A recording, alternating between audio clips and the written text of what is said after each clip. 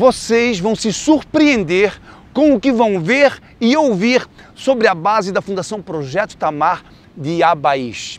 Lindo, vem!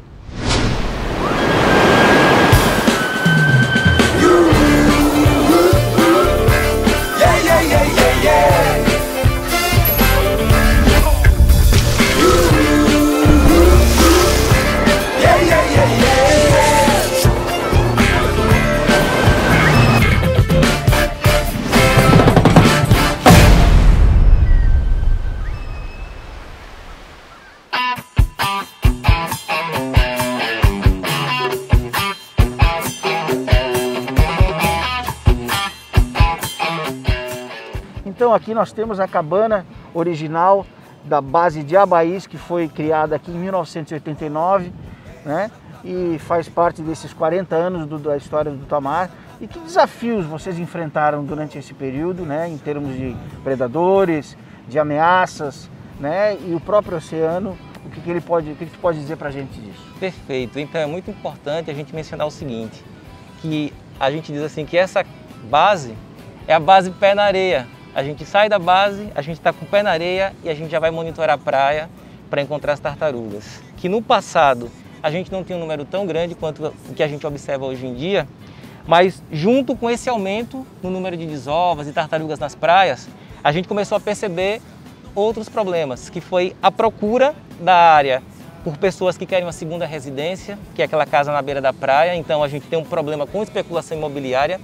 As pessoas querem vir à praia, mas não só ter a casa, querem descer com um quadriciclo, quer descer com um veículo. Então o que antes a gente descia e encontrava tartaruga, hoje a gente pode descer e encontrar com um veículo, que para nós é um grande problema, porque é, é, quando esses veículos passam sobre os ninhos, eles vão compactando a areia e dificulta a saída dos filhotes. Além disso, essa ocupação faz com que é, a, a, vegetação nativa ela seja desmatada, seja retirada, dando local a esses condomínios só que os animais que vivem nesses locais acabam procurando outras fontes de proteína. E as raposas, que são muito comuns aqui na região, encontrou nos ovos de tartaruga uma proteína de, de excelência.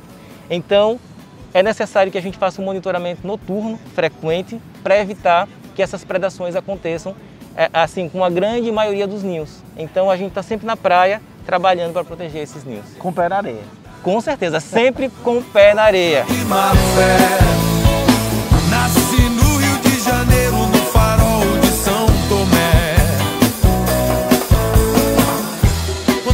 Viajar, lembro logo dessa rima. Eu estou aqui com a Elma, do signo de Peixes, um amor de pessoa, nativa de Abaís. Estás há quanto tempo aqui nessa base, Elma? Eu estou aqui na base do Abaís desde quando foi iniciada, desde 89. Inclusivamente foi na época, quando o César chegou chamando a gente, foi o meu esposo que iniciou essa base. E daí eu comecei aqui dentro para dar manutenção na casa, ajudar o pessoal. E daí eu fui me interessando por as tartarugas mesmo, para poder fazer, trabalhar com os ninhos, abrir o ninho, receber desova. E aí eu estou até hoje fazendo esse trabalho.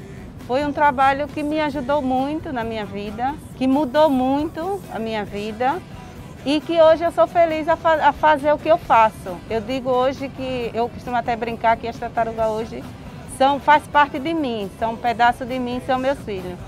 Então eu sou muito grata ao Projeto Tamar por eu estar esses 33 anos fazendo parte deles.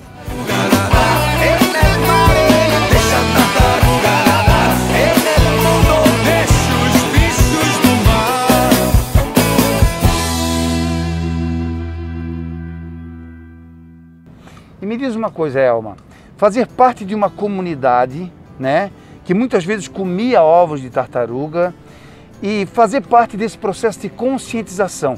Como é que foi essa conversa com a comunidade? Quando, na época que eu comecei, foi muito difícil, porque ninguém aceitava. É, o pessoal tinha aqui da, da, da, região, o pessoal comia muito. Então, quando o Tamar chegou para fazer parte da gente, eu fui a primeira pessoa a ser chamada como mulher para trabalhar. Aí a comunidade, elas não aceitavam, e principalmente o meu marido, porque aqui na época as mulheres não trabalhavam fora, não trabalhavam com homem, não fazia parte desse tra de trabalho para trabalhar. E o meu marido ele não aceitava, porque eu era mulher e não queria que eu trabalhasse para viver. Mas aí o pessoal do Tamar, graças a Deus, confiou. Talvez eu fiz com que eles confiassem em mim. E aí a gente está aí até hoje. E hoje já todo mundo me respeita, graças a Deus. Todo mundo, quando me verem, é uma do Tamar e aí todo, eu faço parte hoje dele, do Tamar.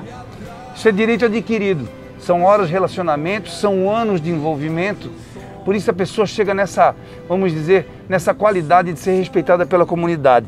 Então, se você está aqui desde 89, são 33 anos. Faltou pouquinho para os 40 anos, então? Faltou sete anos para os 40 anos para estar tá com os pés na areia. Cabana de palha, fica lá na praia, o lugar para ver o mar chegar cabana de palha, fica lá na praia, o lugar pra ver o mar chegar. Cabana de palha, fica lá na praia, o lugar pra ver o mar chegar.